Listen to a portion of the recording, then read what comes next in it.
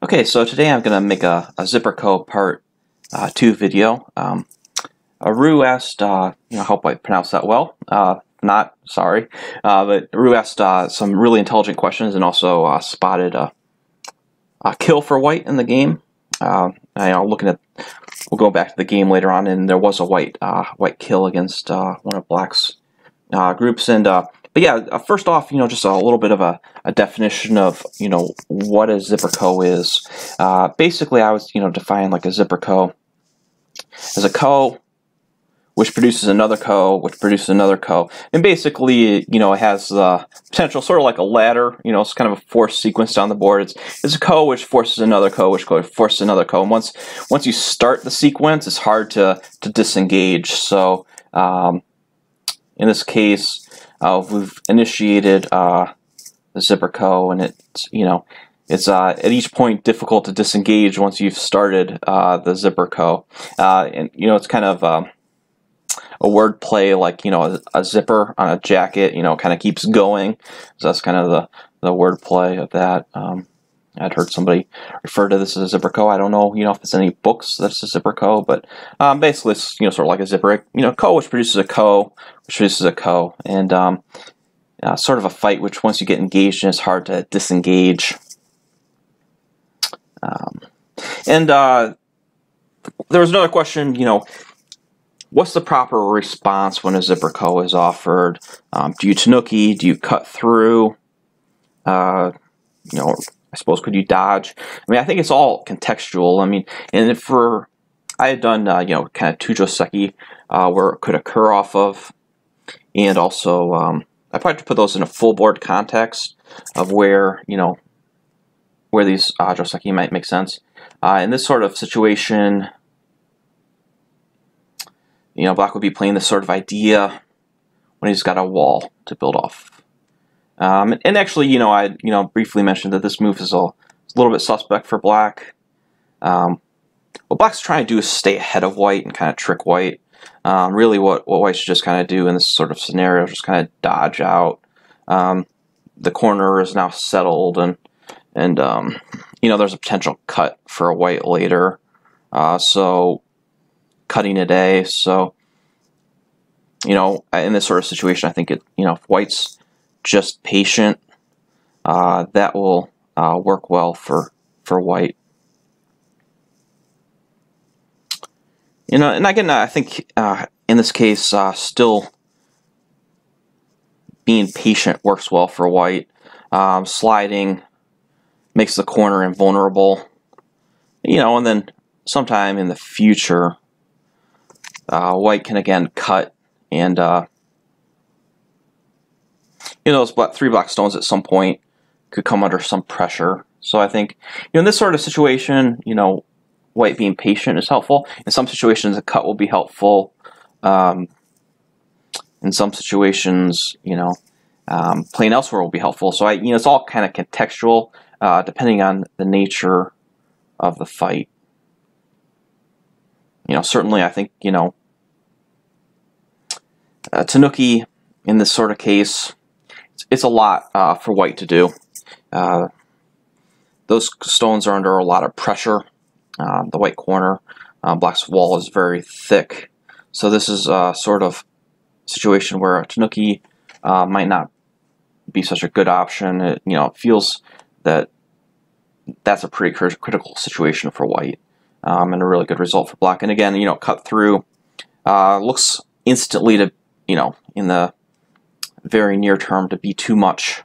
Feels like uh, you know, white's you know biting off more than than white can choose. So in a situation like this, I think you know either Tenuki or cutting through kind of feel overplayed. Just being patient in this sort of case. Um, you know, the another Joseki we were looking at. Um, this is sort of thing that occurs off of Sanren-sei. So you got a Sanren-sei and an approach, and then black Tenukis. And so this is kind of where um, we get a very legitimate cut through because uh, we get a lot of weak stones developing.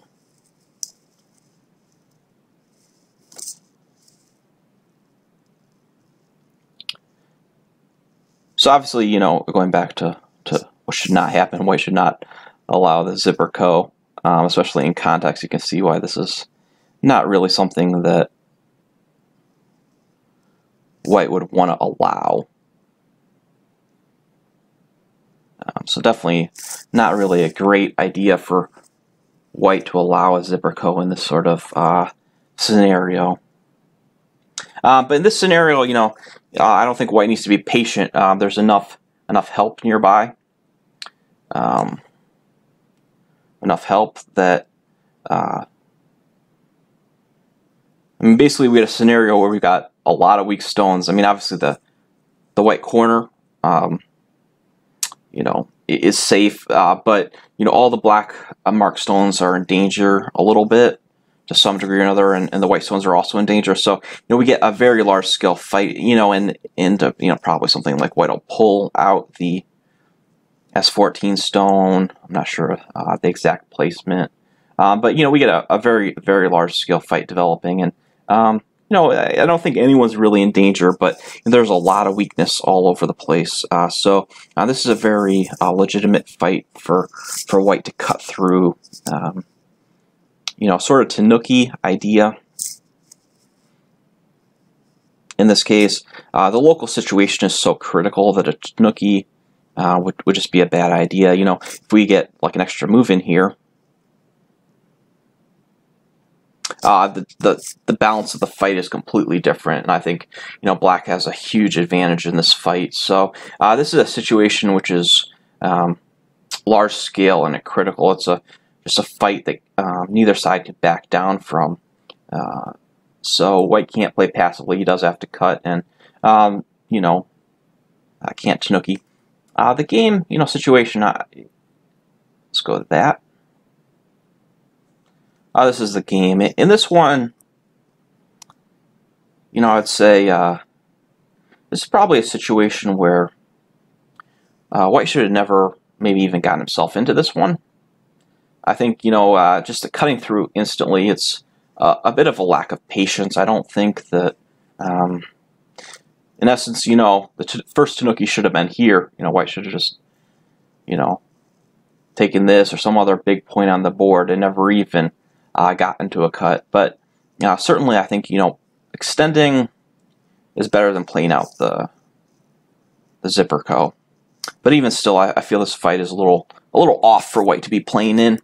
Um, so a Tenuki uh, would keep the Aji well. Uh, so you know, it's, it's to add a move black in the upper side uh, could easily become out of place. It feels kind of slow. So you know, maybe a wait and see approach, and then um, some sort of extending move at one of these points uh, might feel good for for white. A, a wait and see approach to just kind of hold the Aji and don't um, don't get in, involved in a fight, um, which is uh, disadvantageous.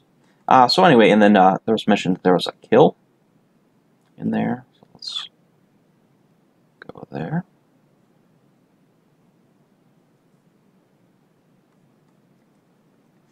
Uh, so uh, in the game, White played here, uh, and it, it, fills one of White's own liberties. And so, you know, uh, you know, Ru would spot that this move uh, doesn't fill one of White's liberties. And you know, I spent a while looking through, and I couldn't find any variation where Black actually lives. So I'll just show you one that the variation was a little harder to kill for White. But even still, you can kind of see it's not that hard because um, basically the idea is to use some of those those zipper codes um, as a little bit of liberty. Um, and obviously black ends up behind, uh, you know, a little bit on that. So uh, doesn't work for, for, for black. So obviously when black uh, realizes he's behind, uh, black can dodge. And, you know, I mean, obviously it, uh, the game, you know, we had kind of gone over some of the parts of it. Um, even still, I think here, uh, black is in a pretty good shape. Um, you know, and just having played out the Zipper Ko a few times, even though White gets that kill on those stones, uh, Black is still feeling pretty good about the game. Um, but certainly, this is much more playable for White. White has a chance to come back. It's not over by any means. Um, those are some follow-up thoughts, and, and hopefully that um, gives some clarity for day, and see you next time.